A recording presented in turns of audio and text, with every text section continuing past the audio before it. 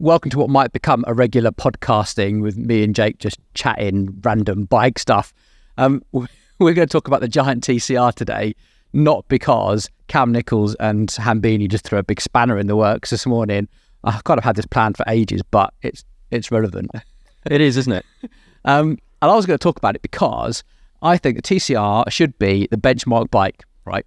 You had a TCR. I did, and I, I so I bought it four years ago, uh, start of 2020, um, and it was a great bike. I really liked it. I won my first road race on it. Yeah, up the Giant TCR. Exactly, and I think the TCR is that bike where um, you got got it when you were 14, 15? Uh, I would have been 16. Yeah, okay, that age where it's going to be a gift from your parents at that age, mm. isn't it? Absolutely. And you go to the local racetrack, at your case, at the Salt Ayre, and you can imagine one dad talking to the dad, oh, I'm thinking about getting my young, young lad or uh, a new bike. What should I get? And that conversation probably starts with get a giant TCR with a 105 group set, can't go wrong. Yep. Yeah. Yeah. So, for, yeah, four years ago, I got it was a Giant TCR Advanced Pro 2. We'll get onto this in a second, but the naming conventions of the Giants aren't the they're not the catchiest, are they? No. And it had uh, the Giant carbon wheels, which was a big selling factor for me, and the bog standard 105 group set, and it was rim brake at the time. Yeah, so you made all the right decisions at the time. It was our oh, rim rim brake wasn't disc brake wasn't really a thing, but it was the it was the mid range carbon frame um, that you could change handlebars and stems dead easily yep. as you grew. Perfect choice. 105 group set, which is perfect choice, yep. and a good set of racing wheels. Yes, perfect, absolutely perfect. 1600 quid. Yeah, and and that was that was a that was a good price. That was like I was happy to pay that. You know, it wasn't you know, I didn't have infinite money to spend. Yeah, I don't think that would have been a sale price either. Maybe, uh, I think it might have been. It might have been a couple hundred quid off, but yeah, okay. it's in that ballpark. Yeah, we would have thought under two thousand pounds. Today, that same bike is three thousand two hundred ninety nine pounds. Yeah, for the equivalent. So it's double. It's double. it's doubled the price in three years. Yeah, that's absolutely insane, and it makes it really hard to make the giant TCR the benchmark recommendation. It does. It really mm. does. Because yeah, for me, I would not have. I would not at that time. Definitely would not have the money to spend three thousand two hundred quid on a bike. No, and nor would parents, etc. So where do they go? Where where is the benchmark mm. now? How do you? What's the recommend? What's our recommendation to people watching this? Um, I thought, well, let's just get on and talk about it because yeah. how much you've grown in those three years, oh, 16 yeah. to 19. Well, I mean, you saw I was still riding that bike at the start of this year and it's way too small. It was a medium, wasn't it? Yeah, medium large. Medium, again, medium, giant, large. Something else we need to get onto is how wacky giant sizing is. It's so yeah. stupid. And now you're riding a 58 SL6. Yeah. So quite a big jump in mm. like in bikes that you've gone through. And Interestingly, the second bike, or the bike now you're starting to earn and you're buying your own bikes, mm. is you want something high spec, but now you're more educated. You've brought mm. something second hand and yep. you built it up and uh, made some really really clever choices on it. And you've got a really really lovely lightweight yeah. bike for that. But and but but also as obviously as me working here, I've got the skills to be able to buy stuff second hand, fix it up, and all that sort of stuff. So for someone else to buy the same spec bike I did in the same way, it's going to cost quite significantly more in terms or, of getting or more risky, etc. Exactly. Yeah. Yeah, it's uh, it's definitely requires knowledge, I think, to buy and like secondhand. There's an awful lot of stuff that can wear out for yeah. sure. Yeah. So, I, what I wanted to do was how do we find um, a recommendation? So, this is my point. The, the base level, if you come down in price to the base level giant mm. TCR, and I've got in trouble for this before. in fact, I got a phone call from, um, I can't remember his name now, at Giant, and he rang up and tried to put me right on a few things. And we agreed that for someone my height, my weight, my power, I would probably find the base level uh, TCR quite flexy. And I hmm. do. I have like I am six foot, 85, 86 kilos, um, put out around 250 watts, 270 when I'm at the fittest. Um, and I can make that bike flex. And and that's and to, yeah, in my head, that's like a that just that's a good rider. That's someone who rides at the weekends, goes on club rides. That's a pretty common. Yeah, I don't think I'm massively unusual. I'm not the fittest guy in the world, but then the Giant Advance wouldn't be geared at that no. either. So I think that's, and I find that a disappointing ride feel. Yeah. Um, and I would probably choose an aluminium bike over that. Yeah. I'd probably choose something like the Trek Emonda AL, the Team Machine AL. Not sure about the Giant Contend. I don't think no. that would be on my on my. We've seen we've seen some interesting things with those over the years, haven't we? A, a Cannondale CAD 12, I think I'd probably choose because um, the CAD 13 is not a great bike. I don't know what happened. The CAD 10 was great. CAD 12 was great. CAD 13, like what happened? Yeah. It was like a CAD 8, wasn't it? Remember the CAD 8? That just yeah. sort of fading.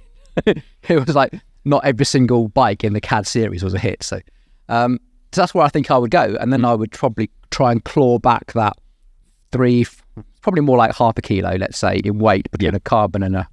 I'd claw that back in good quality wheels.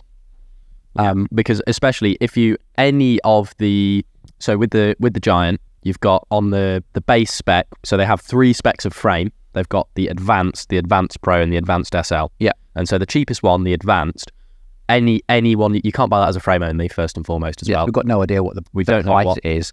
Yeah, and we don't really know the differences between that and the advanced pro i think is it the oversized steerer and stuff like that That's- yeah. but we don't know the differences under the hood apparently it's exactly the same frame. It is just the fork. That's what I got put right on. But- um, yeah. Um, but yeah, the the difference is as well. You get absolutely awful wheels on those um, on the base spec, yeah, they're, they're landfill. Yeah. but yeah, and the price you're paying still nowadays is very very expensive. Like if we look at the chart for for a Tiagra two x ten on an advanced disc three is two thousand three hundred and fifty quid. you see, yeah, and that's where that price that you've paid with inflation, you might expect. Okay, it's now Two grand or it's around a bit two to two and a half thousand pounds. You're getting the lower grade frame and a group set which hasn't been updated. I have to check my records, but a long time. I uh, can't remember the last time Tiagra was updated. no, It, it even looks out of date now, doesn't Yeah, it? It yeah. looks so dated. We desperately need um, a new Tiagra, a nice, well, a a new nice Tiagra, Claris, and Sora. yeah, yeah, it's yeah. all like all looks so dated now. Um, but yeah, you with those with that bike, you get awful wheels. Quite frankly, that Yeah. shouldn't shouldn't be on anything really. yeah, those three hubs are just going to disintegrate Yeah. in thirty seconds. Yeah, Um, and it's yeah. So you couldn't in on a, on a good conscience, you couldn't recommend anyone that sort of bike. It's like for you're not gonna. I don't think you're gonna have a very good riding experience on something like that, are you? no, I no Uh, at that at that range, I would say go look at something aluminium. Yep. A- absolutely. And there's so- stuff on the market in And if we if we look at so the contend, which is the aluminium bike, the 105 one is 1900 quid. yeah, so we're like what seven hundred pounds up upgrade for the carbon frame. Yeah, It's not worth it. It's not, is it? Because I mean, yeah, at that sort of at that sort of price, you're still uh, it's two thousand seven hundred pounds is a really really significant amount of money. Yeah, And is. to be getting something that you're probably not going to be very happy with, it's um it's that it's that little good better best thing isn't it it's like oh why hasn't it got that stiffer fork you know Mm. um you know i'm just going to push myself to that next level and the next ne- next thing you know you're at base spec of 3300 quid Yeah. and i think at that price there's some really good stuff on the market i'm Mm. Yeah. not even thinking about sale prices you know oh yeah um and i think that's where the tcr for me always should be benchmark recommendation Yeah. upgrade to a slightly better brand or something, or maybe the BMC comes with a, set, a better, better set of wheels or something for just a little bit more money. Yep. But you start at TCR. you do don't you? Yeah, that was and that's yeah, and it's like you even look at even the the ex, more the more expensive bike, the like the advanced SL or whatever it is. I, I can't see the point of that bike. it anymore. makes absolutely no sense. So the frame only costs two thousand eight hundred and ninety nine Great British pounds. which you think is actually quite a good price for a high modulus Yeah. team spec. because I, bike. and it's you know integrated seat post like it, it looks it looks quite nice in my opinion and I think they ride pretty well I mean Jayco seems to do all right and then they Yeah, they pick yeah, yeah. one yeah, yeah. It's a race, a race winner. Yeah, it's, yeah it's, one race. it's a yeah. it's a it's a serious bike but for the what we would call the base like the base spec of that with Ultegra Di2 it's eight grand it's yeah.